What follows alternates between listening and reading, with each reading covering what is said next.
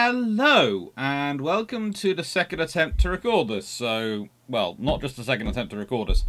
I recorded it three times, I uploaded all three versions of those, and they all went up without sound. So, wish me luck. This is the common response to the Washington Cheaties. Mm-hmm. And it's actually Sunday the 27th. It is. And as I'm doing this again,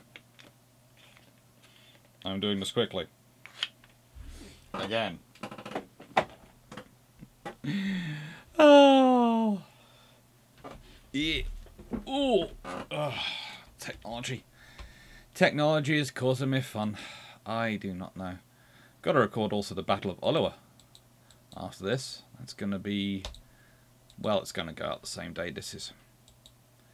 And by the way, the comment response video this week is probably going to go up on Wednesday from last week, just so we still have one. I still have one going up this week, but that will mean there'll now be a video pretty much going up every day till a week after Chris, a uh, week after December is over. So um, wish me luck, and don't be. Uh, and I probably will be complaining about lack of social life at some point, but it's my own fault. So just remind me of that. Thank you very much, everyone, for watching. Anyway, so let's get on to it. Let's get on to the Washington Cheaties and the comment response. Okay, so the live.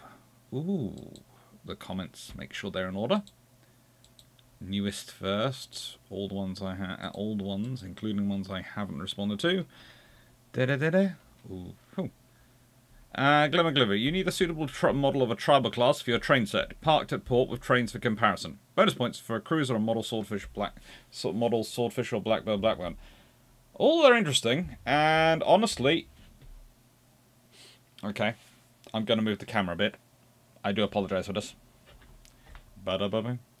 You might notice there's a little section sitting here, like it's almost as if someone built a section of the table with plans for there being a little harbour there.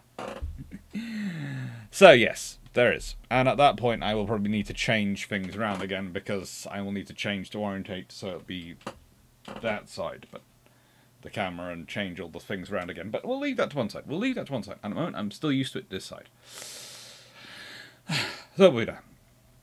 A Corgi is a second generation tribal class, upsized for heavy cruiser duty. I agree with Fight for Global First Amendment, so they think. Mm-hmm. Aaron Cotras. I always thought Japan's cruisers were more famous at cheating the treaty than Lexington class. Maybe that's the difference between Britain and America, though? Yes and no. Um, how do I put this politely? It, the thing is, the Americans would claim they didn't cheat especially at the time, they, they just used the full allowance. The fact that everyone could see through it meant others felt less compelled to cheat, or less compelled to buy the rules. It's one of those things. The Americans bend over backwards to look like they are obeying the technical and spirit of the law by doing, well, maybe not the spirit, but the technical uh, technicality of it. The trouble is, everyone's in there going, we know you know, if I gave the example of the tribal class destroyers. Ah, okay, let's open up the book. And go to my table. I think I seem to remember putting weights here. Yes, weights. So, normal displacement for these ships. For Afridi, 2,244 tons. For Cossack, 2,030 tons. Gurkha, 1,999 tons. Maori, 2,006 tons. Mohawk, 2,017 tons. Eskimo, 1,987 tons, with bow. Mashona, 1,990 tons. Zulu, 2,050 tons. Somali, 2,014 tons. Tartar, 2,025 tons. Sikh, 2,015 tons. Matabele, 1,964 tons. Punjabi, 1,990 tons. Ashanti, 2,020 tons. Bedouin, 2,035 tons. I know off the top of my head, Nubian, 2,050 tons.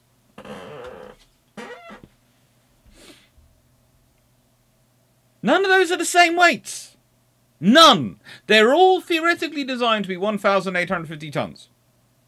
Not a single one in a standard displacement is 1,850 tons, and not a single one has the same normal displacement, not a single one has the same full displacement, because different yards build them differently, they have different stocks in them, they have different this, that, and other things added to them, and so there's going to be a variance. So if you turn round on your figures and say, I have reached 36,000 tons exactly, everyone, and I mean everyone, is going to look at you and go, come on, pull the other one.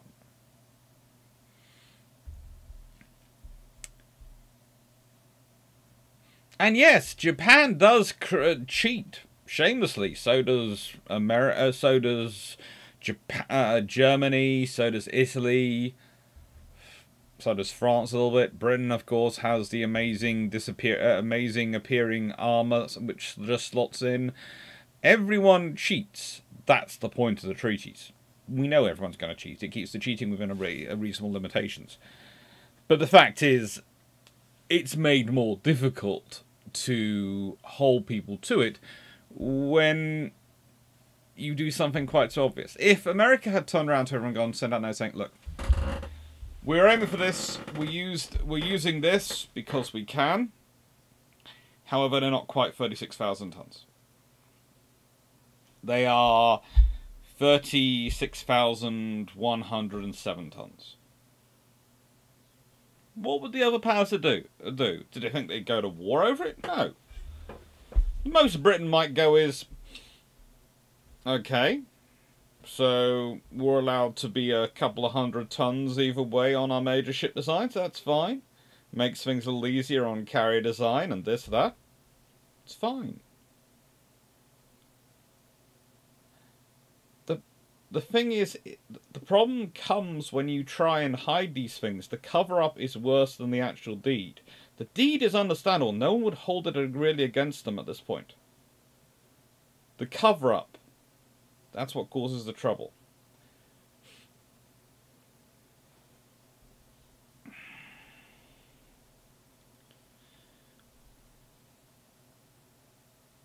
There's an interesting then point from 96831, and I'm not going to get into some of the things. But the thing is, America could have taken all three Axis powers at the same time, as well as the British Empire could take all three Axis powers at the same time. It would just take a lot longer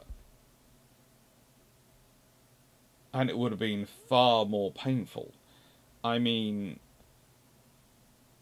Japan would have probably made it deep into the Indian Ocean and maybe even got into in eh, actually invaded into India but let's be honest the odds are the Indian army would have managed to do some very nasty things to them they did nasty things to them anyway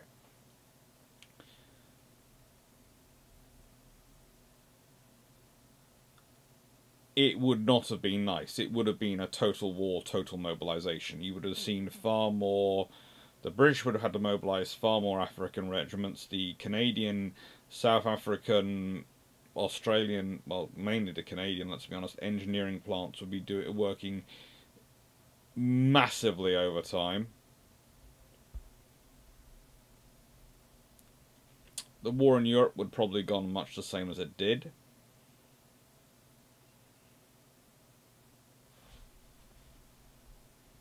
But if you do take out... Because, you see, this is the thing. Let's say we take out Russia. And we take out America, because that's what we have to do for Britain to, uh, British Empire to end up fighting alone. They don't, there's no Russia in America. Well, that means there's no supplies from Russia going into Germany as well. And no supplies from America going into Britain and the British Empire. And things, and that has an impact on the war. It's the same as if you turn it around and you say, okay, America on their own fighting. So you delete the British Empire. A, America now has a massive coastline where Canada was, which might give them a stronger navy. But B, how useful is really the German navy and the Italian navy going to be at fighting America?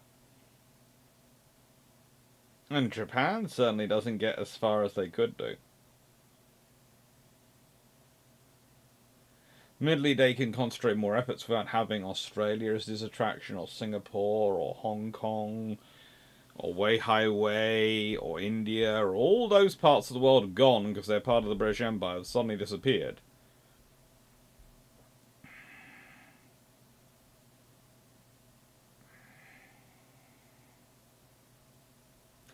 There's also honestly a point to be made. World War II becomes a global war because the enemies are fused. But I don't see America getting involved in a European war if Britain isn't fighting it. Because America doesn't have the connections. If Germany decided to invade Ireland, but in 19... Well, not part of the British Empire, are they? They're separate by that point. They are their own republican independent, but yeah, maybe if Germany decided to invade Ireland, but there again, there might well be an American force already there. Because if, while Germany, etc., and all these things are mobilizing, the uh, strong Irish element uh, in American politics would probably have mobilized a lot quicker. And if you think some of the modern lobbies are powerful, they are nothing, absolutely nothing compared to what the Irish lobby in the 1920s and 30s could do. So, yeah. That's basically what I see America getting involved in, but then again, it's defending Ireland from Germany. And if Germany doesn't have Britain to deal with, they just have France, but also Italy doesn't have Britain to deal with. So why does Italy need Germany? And remember, Mussolini is egotistical enough egotistical enough on his own that that could lead to trouble. So, yeah, it's a really interesting scenario. If you take out the British Empire completely, does World War II happen as a world war? Does it end up being uh, a US-Japanese war and perhaps a German-Italian war with France divided in between? That'd be something I would have to wargame quite heavily to work it out, really. Now, Anak, regarding discussion about boilers, Yarrow, Thornycroft have UK pedigrees, but Babcock's Wilcox has 100% roots. From the company website, Babcock Wilcox traces uh, back to an 1856 patent issued to S. Wilcox and um, Stillman when George Babcock and C. Wilcox joined forces to design and market a boiler that increased heating services for better efficiency and was both effective and safe. In 1867, Babcock and Wilcox was formally established in Providence, Rhode Island, to manufacture and market water tube boilers. In 1891, Babcock Wilcox Limited is incorporated in Britain and effectively consolidates the company's international business with headquarters in London. Now, here is where I get involved. So, the point to elaborate on the point I made further. Company may have 100% roots, their boiler and their boilers and boiler designs don't, despite their own inventions being critical to them. They worked with John Brown and Company a lot over bond design, especially in World War One era and into the 1920s. They especially enjoyed hiring Scottish engineers to work in their company, although to be fair, in this period everyone seems to be doing so. This is mainly done through the function that is Curtis as a company, but we'll leave that to one side. And of course, information flowed both ways. One of the reasons why the USN was so sure about the information of Hood's performance figures was this very same uh, back channel, as I'm uh, uh, back channel. I'm sure. After all, John uh, John Brown built Hood. Now, I went and tracked down one of my books. Diary of a Wartime Naval Constructor, Sir Stanley Goodall, edited by Ian Buxton. Now, I both love and hate this book. I love it because it was an introdu it's an introduction and it's something I can give to students. I hate it because it starts in 1939 and so much of his interesting stuff happens before 1939.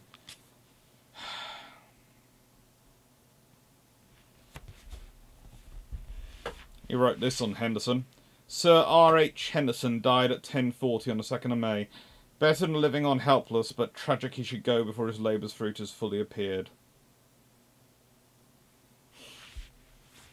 Now, in here is mentioned a gentleman.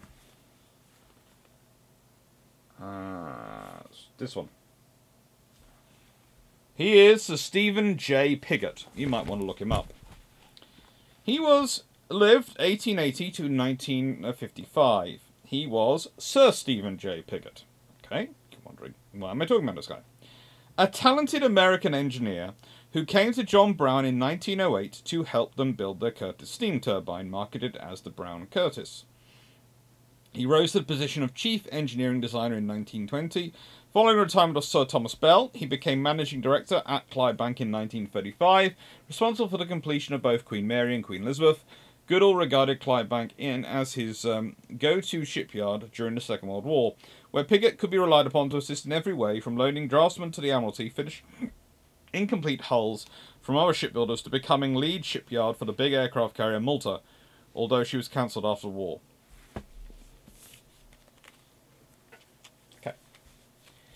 How do I make this point? My family has a history of doing many professions. We often serve in the Navy. But mostly my family's traditions come down to naval architecture, civil engineering, and banking. Now, I'm sorry about the bankers. Every family has a few in the UK. They just turn up. It's just. I'm not sure where they come from, but they do. Just these people who have some sort of love for maths. But anyway, leaving that to one side, the naval architects have been many including a couple on my dad's side, who spent most of the 1900s, and when I say this, I mean pretty much all the 1900s, working on ships, including two who, for different companies, one British, one American, they were both British, would work for a month in a shipyard in the UK. Then get the fastest boat across the Atlantic. Spend about another next four weeks at a shipyard in America, to, and then do come back, and then do it again, and come back, and do it again, and come back, and they kept going across the Atlantic. Why? Because in those days, that was the method you ensured commonality and worked on your designs across the world and you integrated research across the world.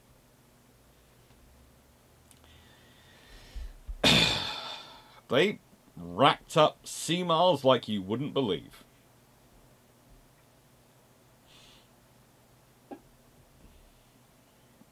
And because I know that, because I know that family history, that is why I know the levels of integration that were going on between American and British shipbuilding and British, American British ship design and the information flowing across. And that is why I can confidently say, yeah, the British chose not to build, uh, not to wait for the higher pressure boilers to come available because they decided they need to build ships sooner and standardize to make things easier training wise. But if World War II had waited off, you'd have probably seen them move and change to a higher pressure boiler system and start changing all their ships over some of the battle the battleships probably left, but some of the cruisers would have been upgraded. Some of the destroyers definitely would larger destroyers have been upgraded, and that's what we're talking about. Because there is so much information going backwards and forwards between the two. I'm going to say the chief engineer in the yard, which is building HMS Hood the vessel which scare, scares the Americans so much is an American. And the British trust him.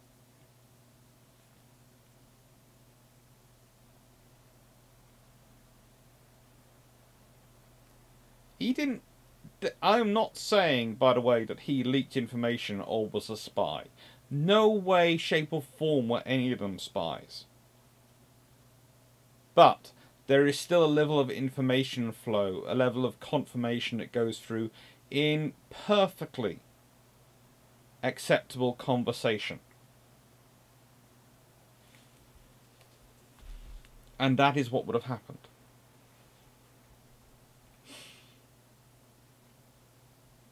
Jay Happy uh, Jay the Happy Wyvern. Um, so, a question I have from discussion of Lexington battlecruisers and Ranger carriers. Would the Lexingtons have been sunk at Pearl Harbor, or would they have been a heavy escort for the carriers out making deliveries the 7th? It would probably have been battlecruiser carrier combos, in which case they'd have probably been part of the task forces out.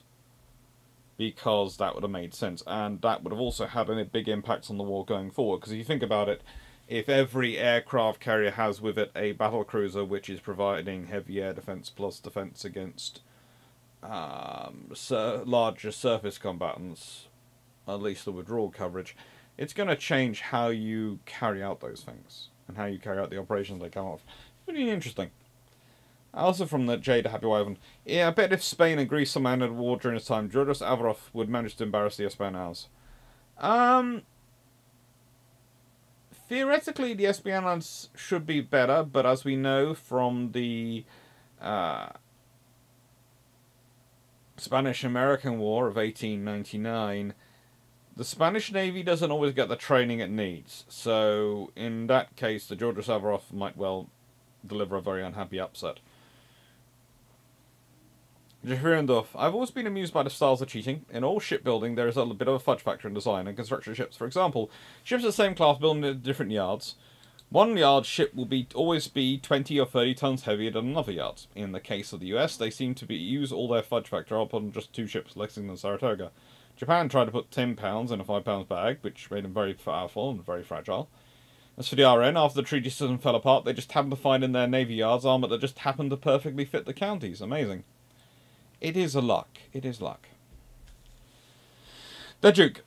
You should come here to Hamilton, Ontario. I saw a case of Irn Bru in grocery store yesterday. Oof I love visiting Hamilton, Ontario. I love the people. It's a very friendly place. I had a lot of fun. I enjoy Canada. Geoguy 001. The Germans did develop a 16-inch gun, yes, for the unbuilt... Well, the, they had two under construction, had started constructing and four more planned, H-39 class, but they ended up being used on the Atlantic Wall. Yeah. but it's it's more fun. They design it, but it's it's even more issues going on. Nicholas, but that's a lot. I was late because I was so engrossed in your YouTube discussion. I actually have heard that from a student recently. My sister's had even worse. She had them watching my videos in the back of her class, which she complained about to me. Apparently it was my fault. I was going, I wasn't there. I was in a completely different county. Nicholas, wouldn't a better method for treaties count rifle barrels rather than ship tonnage? Hmm. Limitation on ships being their barrel ton uh, barrels or on tonnage. Hmm. Is it terrible that I could see someone packing all their ships with twin turret uh, with very wide, fat twin turrets that, and I could see Britain especially doing this twin turrets that are very very fat that then when they uh, when they think war's going to come, they just can sort out. Oh, we've taken off the middle bit. Oh, we've got space for a third gun in the center. Isn't it amazing? Suddenly, have battleships go from having I don't know three hundred rounds per gun and eight guns to having two hundred rounds per gun and 12 guns. oh, I can see that. it would be an interesting methodology, but there again, the size of the ships involved would be colossal. If you're not including, you're not factoring in tonnage. So, let's go to the long patrol for this. The cheaties, cheaties, cheaties, cheaties, cheaties. Washington Treaties, Long Patrol, 48 comments. Goodness gracious me, that's a lot. Let's see what they are. Okay, this is going to be a long one. Oh, good lord. Hey, caramba. Mark Harkness, man, Riggs, you've had a long discussion here going. Uh, Hello, Knight 61 and Knight 601 and Quizmaster, thank you for your kind comments. Right then, then Boobar. Lexington 8-inch guns aren't an absurd inclusion in 1920s. By 1940, sure, but there's various name problems in US and short time.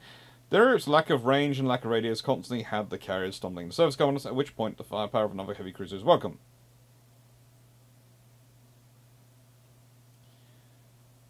Okay, so there is a very long discussion. And it's quite interesting.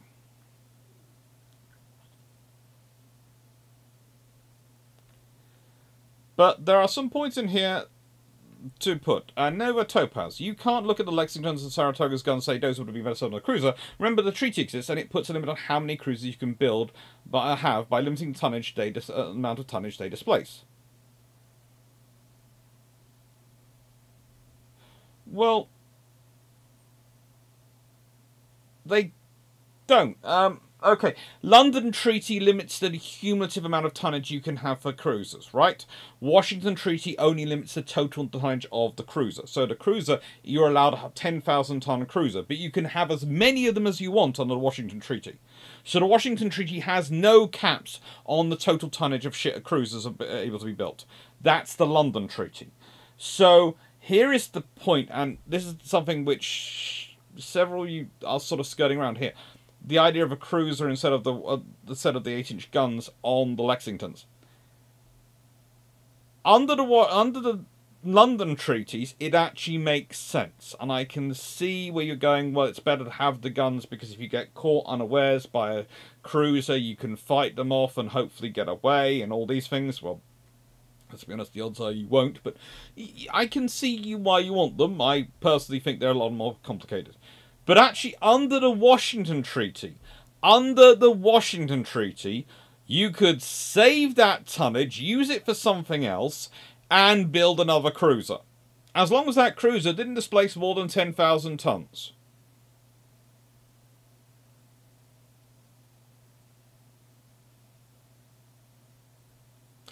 That's it.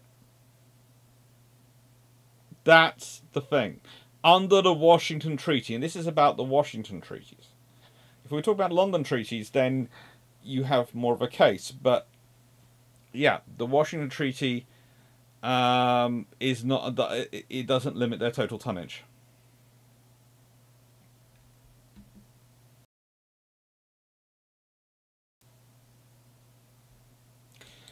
And Riggs, all due respect to Dr. Clarke, I think he's wrong. But it's not intended to get the carriers close to enemy ships. At when point did I say they were going to get close to enemy ships?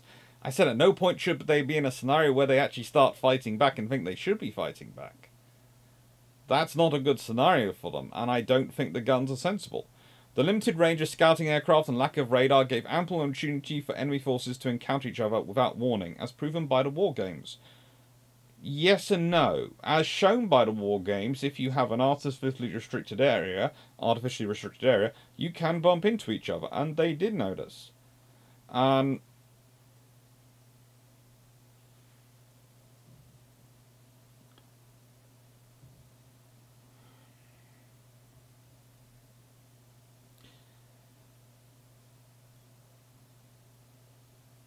The armoured flight deck was a good idea, the armoured hangar was not. I'm not sure how you got to that one either. It's, you, you've come up, you're making the case that they should have the 8 inch guns.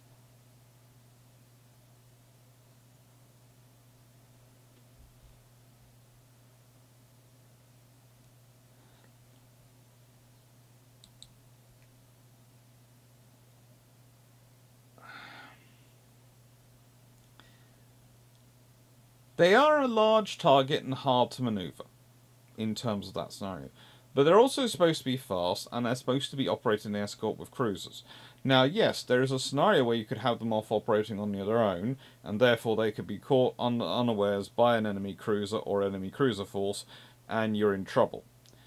But, again, I refer you back to it, and this was something which all exercises agreed, and which is one of the reasons I have the big problem with what happens to Glorious and Courageous in World War II, is the British own exercises and doctrine said that those things shouldn't happen. You should never have a carrier going off on their own. Again, armored deck versus armored hangar, that's it's the same thing, and the armor, the sides on the armor all you're basically saying when you don't like an armored hangar versus an armored deck is you want the armor just on the flight deck and no nothing below on the sides when you get hit from the sides. Which turned out to be very useful when various kamikaze, etc., decided to punch into them. So, yeah. Basically, the point I was making about the Lexingtons is under the Washington Treaty, you can build more cruisers. Build more cruisers. Use tonnage of 8 inch guns and space and all the other things allocated necessary for them, and crew, etc., all these things, to be a better aircraft carrier. That is a far more sensible use of the ton uh, tonnage and displacement than that.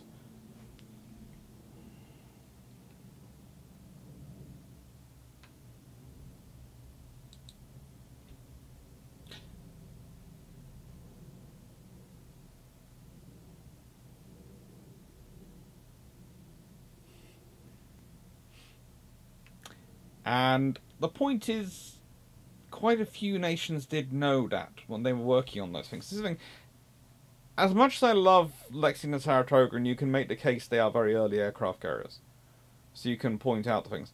There are a fair number of other carriers wandering around at this point.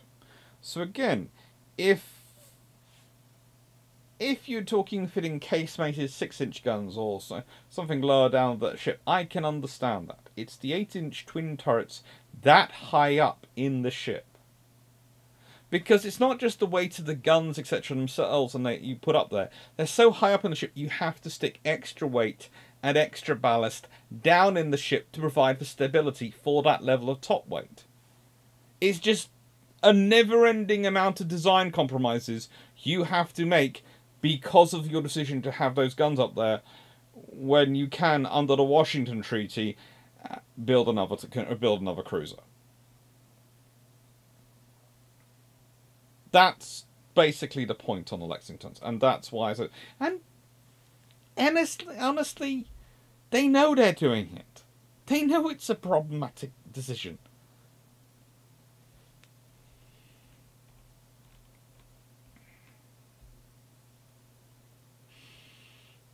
Thank you, Jeffrey Indorf. Speaking of the treaty era, how about a video about Hector Bywater and H.G. Wells? Wells was a correspondent that covered the Washington Treaty, and he felt the treaty brought in a new era of uh, amity amongst nations. I'm writing about the role of the National Council, the direction of armament, which led popular engagement around the treaty. The, uh, the toll of public opinion on the negotiations, I feel, is unprecedented. Mark Harkness then responds to that. Bywater also wrote about the Great Pacific War, but while he imagined that it would start with airstrikes, he envisioned, for example, Kaga turned back into a battleship, and that would be a decisive clash of fleets near Yap Island, the big uh, big gun lines slugging it out. Um, honestly, I think a lot of journalists and a lot of public opinion were swept along with stuff that wasn't really there. There is a lot of stuff which is a good cover, but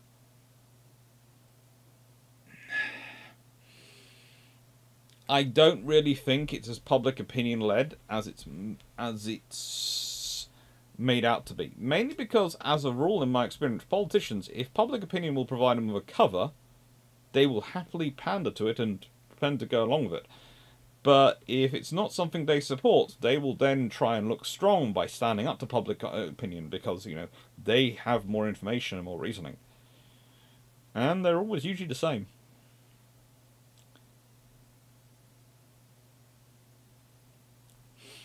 My Harkness, diplomacy, the art of telling someone to go, well, in such a way they look forward to, uh, to the trip. Phil Vanland, military diplomacy. Sir, with all due respect, go foxtrot yourself. Hmm. HS Verdun, I think the treaty ships are interesting because they show where people are valuing things. If the Americans didn't think having 36,000 tons of the cheat wasn't useful, they wouldn't have built them in the 20s and then made captaincy a more prestigious posting. As you say, the admirals do know the change is coming. Aircraft have doubled performance in four years, and are going to cheat as much as they can to get around it. Or rather, they know that aircraft are going to be useful. That's the thing. They're looking at aircraft to fill in for numbers of ships and provide reconnaissance and long-range strike and all sorts of things which are going to be useful. Same British experimental conversions to get as much tonnage as possible. I suspect the Admiralty knows potentially enemy ships are going to be uh, going to be overweight cruiser-wise and builds up armour for the plausible deniability reasons on the counties. Oh, the armour? No, it's just something we have lying around the yard. Totally useless whistles.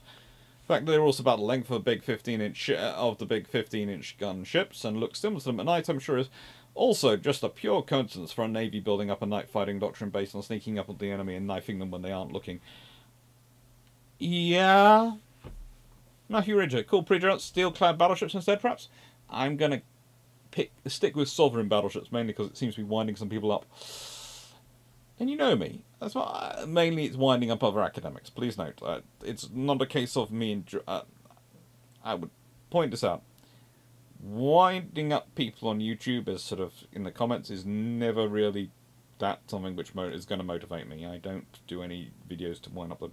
If it winds up some of my academic colleagues and leads to some fun debates that really help make a day at work pass more quickly, yeah, I'll do it. I, I, I admit this. I am that bigger child occasionally. I admit this. Now, Sarah, yeah, but on the big gun capital ships, the Americans, frankly, were the ones who got um, into problems, as they have the three 23 knot Colorados, but really Japanese two Nagatos aren't much of a threat as really the four Kongos. One Tiger and two Renown are a threat. But yeah, who has the only 40,000 ton plus ship at the same time? Uh, yeah, British. H is done.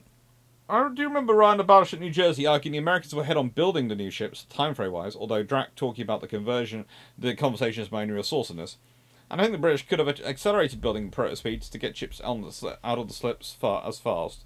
Colorados are designed as 21 knotters, aren't they? So perhaps not that useful. I do think the hypothetical renowned type 30 knots with a bit of armour I'm English, so use that spelling, sorry. When reality sets in, is an, are interesting ships as a theory exercise and a useful Kongo killer at the time.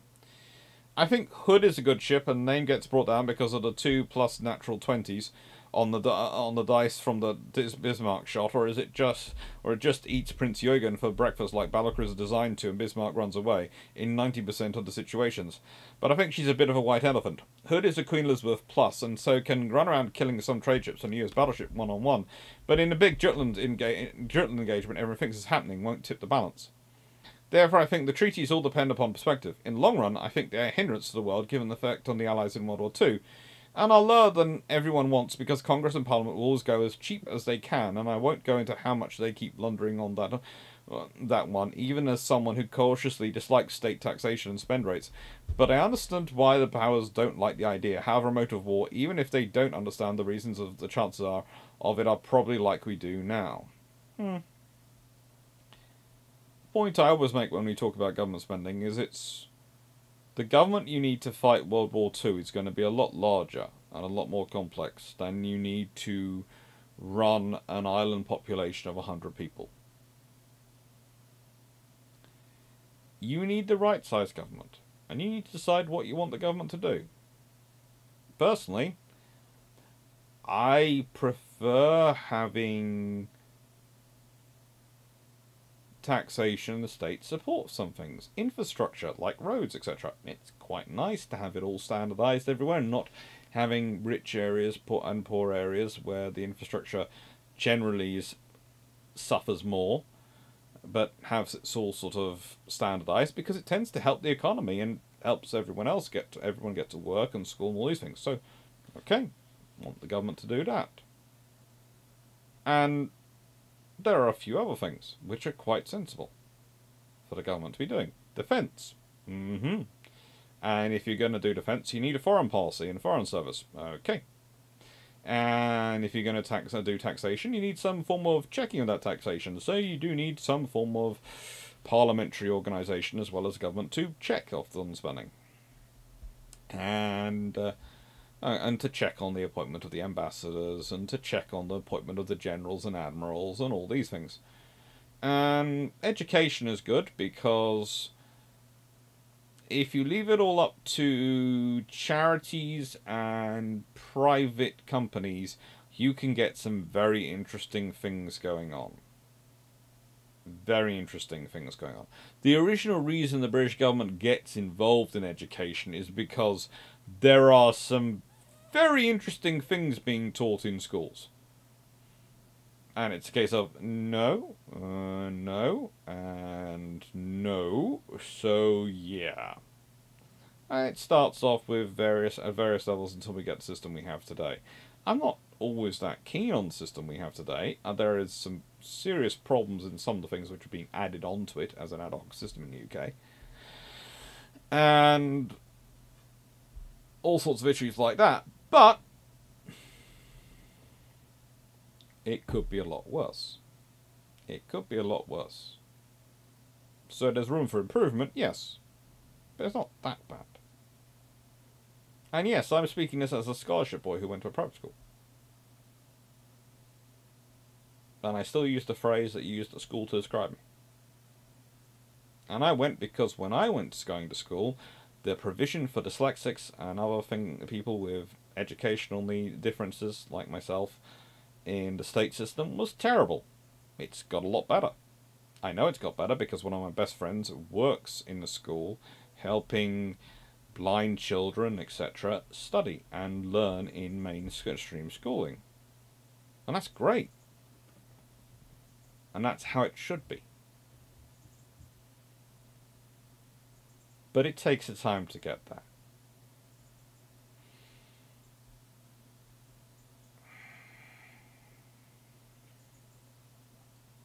So, education, infrastructure, defence, foreign policy, all good areas.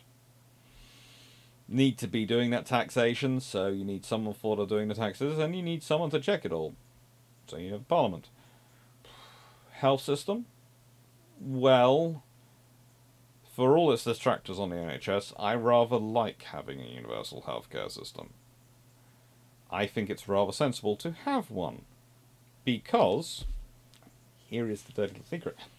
Healthier populations are happier populations. Happier populations tend to be more productive populations. More productive populations tend to yield greater uh, greater economic benefits which boost everyone.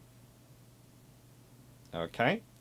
If people, when they're feeling ill, aren't scared to go to the doctor because they can't afford the bill, they tend to be a happier person and get fixed earlier than when it, than later, which actually means it's less of a problem for in, uh, for business, for industry, for everyone, for the economy as well. It actually makes it cheaper to deal with medical problems if people go when it is a small a small niggle rather than waiting till they can't uh, they can't not go. Saying that, is the NHS system uh, perfect? Nope. Is there any universal medical uh, care, medical care system in the world which is perfect? Nope. Is there any medical care system in the world which is perfect? Nope. Because they're all designed by humans. So they all reflect the biases of the people who design them, the people who've modified them as they've come along, the people who've adapted them, meddled with them as they've come along, and no human is perfect, so no system designed by a human is going to be perfect.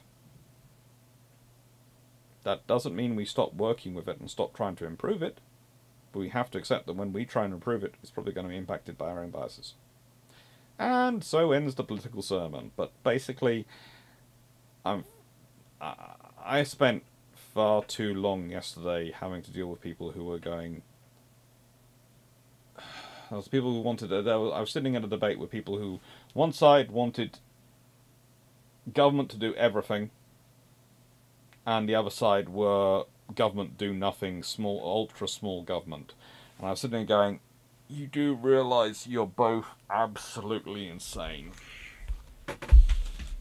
And I do know I have to watch my language. I try and be careful. Sometimes I do admit there are phrases which, when I'm trying to come up with short term, uh, other phrases to use short term, short termism and discuss that, I tend to some for some reason dip into phrases like short-sighted and all these things, which are not meant against those uh, against people who are. It's they're really not. It's just me trying to use a thing and going through my brain and thinking of other phrases to describe people who are doing short-termist thinking, and yeah, it's not meant as sort of the people uh, as in people who actually are. It's meant against these people. Actually, it's going to sound strange because actually, people who actually do have those things, uh, who actually are short sighted, tend to be very good at thinking a couple of steps ahead because they have to be. So actual short-sighted people would probably not be short-sighted in government. If that makes sense. Leaving that to one side. But basically, no, I was sitting there and going, you do realise if you, your arguments are absolutely, completely, whilst they have their own internal logic that you believe that you believe in, once you put them in the real world, both break down completely.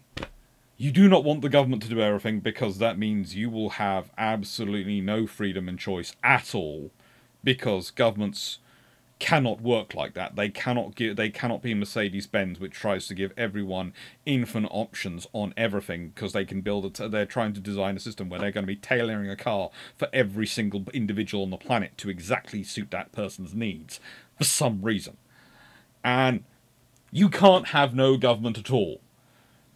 For starters, once you get through all the taxation and all the stuff, you need a justice system because you're probably going to want laws because you don't want people taking the laws into their own hands. So which means you need a police, you need prisons, you need judges, you need lawyers on both sides because you need a defense because otherwise, and here's the reason you need a defense, so to stop the there being things where mistakes are made in the prior prosecution and the, the, the police and make sure they come to light so the right person actually goes to jail for it. So, what do you cut? And by the way, you need administrators for all of that as well. You really do. Now, I have some problems with some of the level of administration and blo uh, administrative bloat. It does seem a bit obscene. And this is off the topic of conversation, but other question. But it's a case of you need administrators. You do. Because who's going to check that all those people who are doing those roles get paid? Get the things they need. Because the last thing you want is to train up an army and then not have people organising and making sure it's getting paid and equipped properly. Because armies, when they're not paid and equipped properly, tend to get very problematic for governments and populations to deal with. They tend to get testy. So, yeah. Right, politics over. Um, Nigerian. Well, Doc, considering that according to US congressional debate records, there were ideas and emeralds were to be superversion of the hood. If they'd gone with the 15-inch 50s, which I've discussed in the Nelson class recently, um, they would have been interesting. If you'd gone with the F3 design as your basis, and you'd worked on and modified that, and I think they could have done that with the 15-inch 50s. I, whilst they wouldn't have been super hoods, and you would have needed to do some things, I think they would have certainly been scary. But they wouldn't, of course, had the 16-inch guns, so they could have inured themselves by going, well, they don't have 16-inch guns. That's what I'd have done. Phil Vanlon, air power, naval power. Yeah, the US was annoyed, not the British annoyed, at Mitchell, not because he showed them up and sank a battleship. They were, US, they were annoyed because he turned a valuable exercise into a useless, expensive ego-stroking joyride. Yeah. The point was to learn what heavy bombers can uh, bombs can do to warships. He sank Ostrom with a second attack before Navy could inspect the damage from the first attack. All the Navy learned was that the Army aviators were made up of arrogant, insubordinate AOLs, which most of the Navy brass had already suspected. Definitely it it's one of those things. It, it sounds really good until you realise, well, hang on, this meant they couldn't do the whole purpose of the test. Um, Lancaster Franconium. The Washington treaty, uh, are like Formula One teams. They just interpret the rules some, uh, somewhat differently. Not looking for what can't be done, but what is not mentioned. Uh, slight disagreement. It's not possibly the first naval arms limitation treaty. Maybe you meant that instead of arms limitation treaties generally. And aircraft carriers was second in treaty because of decreasing displacement, and not because of perceived importance. But I'm just guessing there. Love the channel, well done. But I'm just guessing there. Okay. That's always a fun phrase to use. But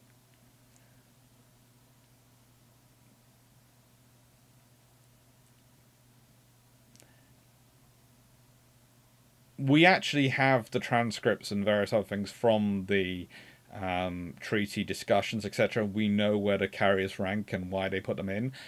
They don't put any tonnage limitation, uh, cumulative tonnage limitations on any other class other than carriers and battleship, well, capital ships as they call them.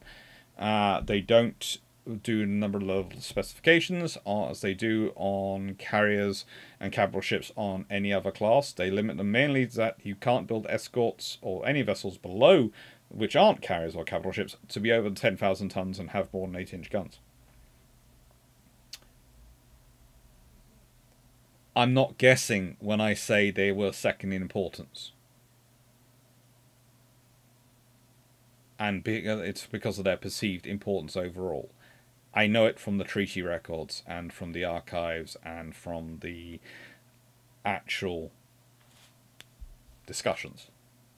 So, yeah. Now, naval arms are still arms. This was my response. These were the first arms control treaties and have provided a starting point and touchstone for every treaty since agreed. Whether strategic arms limitations talks or all other things agreed since the 1920s, they have been the basis sought out. Now, I'm sure you can point to the work of the Amphiotonic, Amphi, Amphictonic Leagues? Amphictonic Leagues? Uh, but that was more of a Greek intercity thing. That they forget or remember as and when convenient, the Rush-Bagot Treaty and even the First Hague Conference. But the thing is, those treaties either apply to a specific geographic area or are a limitation what you do in war and to an extent acceptable weaponry. The naval treaties are the arms limitations treaty model as would be understood today. Those efforts, previous efforts, are the germination of the idea. That is brought in to an extent by the Treaty of Versailles, but comes into existence, is born to the world through the Washington Naval Treaty. And yeah, it it's one of those things that I can understand where you're coming from because people can go, well, there's this treaty, that treaty, all that and that. We can talk about all them. But when you go through them and you go, well, what's the modern definition and what's the definition we use of an arms limitation treaty? You go back, first one is the Washington Naval Treaty that actually fits it. Uh, the rest are all portions, getting ideas of it. It's an interesting process, but they're not quite that. Yes, the Clarke family is into competitive betting and yeah, with each other, and yes, 10,000 subscribers. And seeing as I've already talked about politics in this YouTube video, I doubt that's going, this is going to help me that much. But, you know, honestly, I don't think what I talked about was actually political, but I know people will think it's political. But it's basically me just saying you need right-sized government. It's somewhere in the middle between the extremes, and you have to work it out how it fits your nation and what you want to do it, it to do. And when people give you glib answers which are very quick, like the government can do this or do all this, or we need no government, we need to cut the government, I worry. Nothing in history has ever been solved by glib answers. And I know I give glib answers occasionally when people are asking me questions and I'm just quickly going through it offhand and I just go, yeah, no. But the thing is, you need context, nuance, and you need content. You need an answer which is not just five words or less. Christina Rodriguez, Dr. Clarke, a good wine ages slowly. From what I've seen with history channels and subscriptions, it takes a few years. Does. The History Guy, the Armchair Historian, Drachinifel, Extra Credits History, the Great War Channel, History Hustle Elect, all took several years to grow. History Hustle is one of the channels I follow close to a. It started to get, uh, take off after a few years. Like a good business, it takes three years to spread the name and five years to make, uh, to make it expand. I know. It's literally the only time I ever get worried is when it's approaching 25th of December and it's the family bet, the family year-long bet scenario. Ay, caramba. Hmm. Thank you, and I agree. It's the family bets. And the Friendly Christmas Bets reminds me of a lot of Christmas movie. 1983, Trading Places, Dan Aykroyd, Eddie Murphy, and Jamie Lee Curtis. We watch that on Christmas Day quite often. Yeah. To get along. Um, fun fact, E23. I, Doctor, I recently purchased a book called Warships of Washington. The Development of Five Major Fleets, 1922-1930 by John Jordan. Have you heard of it? And if so, what do you think of it? Well, I have heard of it. And, um, let's see. I have that one. And I have that one. These are the two books. They are about as good a starting point on the treaties as you can get. I don't agree with anything in them, but I'm another historian. John Jordan does absolutely exceptional work. I always enjoy his books these are really worthwhile. His, uh, his other books on the French Navy, I do have them somewhere around me. Somewhere, he says, I've got to sort out my book pile again. My book, I've added more books. Thank you, Spencer Jones. Thank you, Director Kid. Geo Guy, did I hear Guy hold forks, fireworks, and macarons? Probably. Geo Guy, so when the German, uh, uh, Germany did the Anglo-German naval agreements, they could have had five capital ships: Scharnhorst, Gneisenau, Bismarck, Tirpitz, and an H-class? Or was this tonnage thing and the war intervened? Well, as Nick Vorden puts, Germany never intended to stick to the treaty anyway, so Germany would try for their plan if World War II doesn't start, which would be 10 battleships and 3 O-class battlecruisers. Please note Scharnhorst and Gneisenau are considered under their battleship numbers. They're planning on building 6 H-class.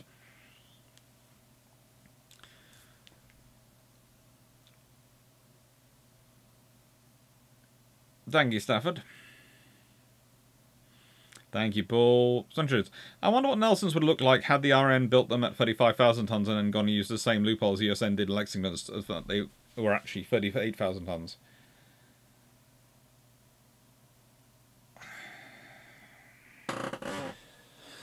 Thirty-eight thousand tons would add on roughly four thousand two hundred tons in standard to them. Now, four thousand two hundred tons extra in standard that's probably going to get them up to 28 knots, if not higher. They probably, I would think, would go with the F3 arrangement because it's better for the secondaries.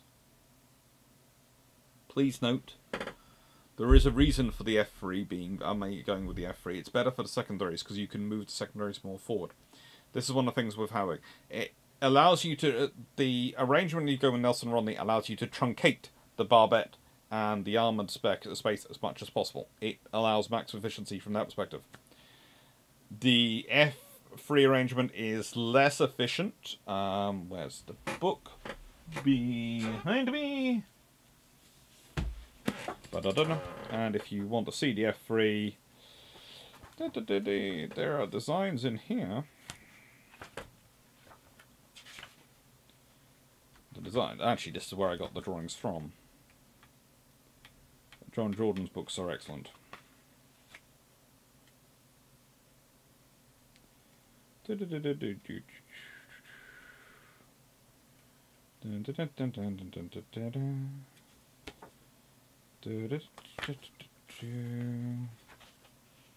Oh, there's the G3 battlecruiser section. G3 battlecruiser design. Oh. They do look cute. Uh, da -da -da Scout cruisers.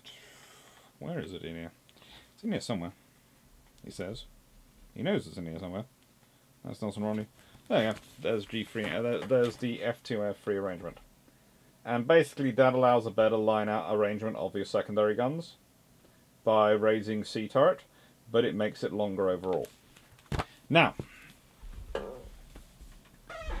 which means it uses more displacement. So if you've got 38,000 tons, you're probably going for that. You're probably going for 28 knots. And you might... You probably keep, possibly keep the full G3 turret arrangement. Goodness knows how tough those six of those turrets would be. I think the really interesting thing is going with a 16-inch gun as the upper limit. Because the British, if they couldn't get would really have probably preferred it to be the 16.5 inch gun, which they had one already. And would have been interesting, because if they had gone with the 16.5 inch gun they already had already, that would have been a very interesting ship which would come out.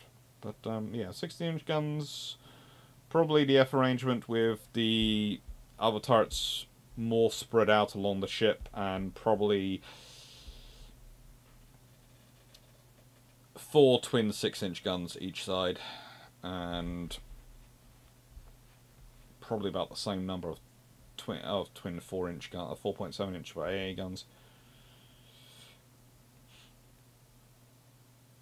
Richard Cuts. First, I'd rather have ginger snaps, really, than chocolate. Secondly, I've always thought the Armistead should have said that it may never meet line at the end uh, at the end of the at the beginning of Pickett's charge in Gettysburg. As for cheating, it depends on whether you are violating the exact words or spirit rule. Of course, you can do both, but not always. That's fun. Thank you, Nick Vaughan. Thank you, S.A. Brock. Amnon Cox. So, uh, thank you. what got? Designing what if scenario.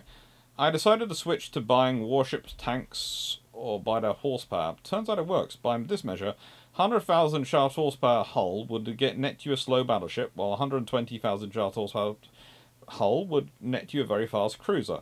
I worked with real ship types in this uh, ship types in portion. For Germany, as an odd example, one can purchase 300 pounds of four tanks for the shaft horsepower of a single Hipper class.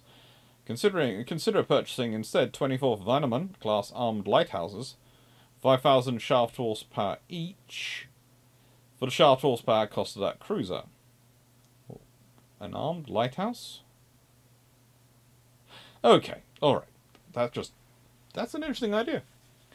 But no, it's it's an interesting world we live in. It is. And I was looking through and really enjoyed that discussion that was going on about Lexingtons. Okay. There are people who disagree with me, and I can understand where they disagree with me. And it's one of those things. If you were talking under the London Washington London Treaty scenario, I would, uh, if the London Treaty had been the wording of the Washington Treaty, i.e., the limitations on the number of cruisers overall, I would wholeheartedly support the Lexington class having those 8 inch guns. Because of all the arguments you make about them needing the defence and all the things coming out of being able to get close and the difficulty of aircraft. But, under the Washington Treaty, I don't. Under the Washington Treaty, that's a lot of weight high up in the ship needs to be ballasted with even more weight down in the ship, and it's inefficient and it's inelegant and it basically just causes you problems. And you can build that extra cruiser. So that is my point. In fact, you could build an extra couple of cruisers if you're willing to, willing to spend the money. And what probably happens then? I have a feeling the tonnage, a total tonnage of cruisers probably goes up because if America has built more cruisers and wants to build more heavy cruisers because they're worried about the Pacific, then the total number of cruisers limitation will probably be different than it was. You probably get a cruiser limitation tonnage of 240,000 tons or something like that which the British might like because if you get 240,000 tons for heavy cruisers and 240,000 tons for light cruisers, light cruisers theoretically can be 6,000 tons each, which you could get 40 of. And heavy cruisers, that would allow you to get 24. So you would have 64 cruisers, which is not far off the British 70 cruiser requirement. Especially when you factor in the British would also been allowed to keep in overage ships, which they were very careful, which is why they were holding onto the C's and D's.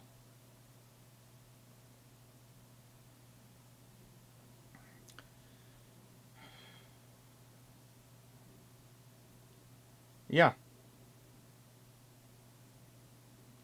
I could see that working very well.